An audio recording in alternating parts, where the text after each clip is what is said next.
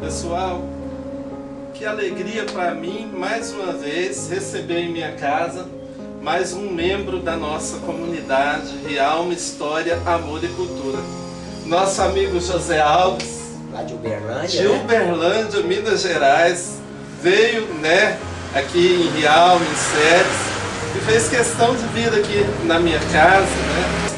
E com muita alegria, viu José Alves? Seja muito bem-vindo. Muito obrigado. A nossa casa é, é, uma extensão da tua casa, muito, viu? Muito obrigado mesmo. Que alegria, né? É aquele cidadão realmente que a gente vê aí no Face. Um cara humilde, um, camarada alegre, comunicativo, né?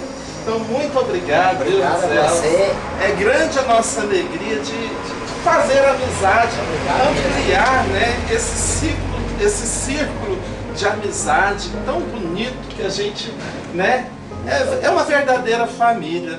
Então deixa um recado aí para a turma. É, não, e eu quero dizer o seguinte, Claudinho, que você saiba que a recíproca é verdadeira e que a gente realmente adora curtir tudo que é postado no Face, seja seu, seja da Tetinha, seja da Graça Ferreira e de todo membro eu curto, mas com muita alegria e gosto realmente.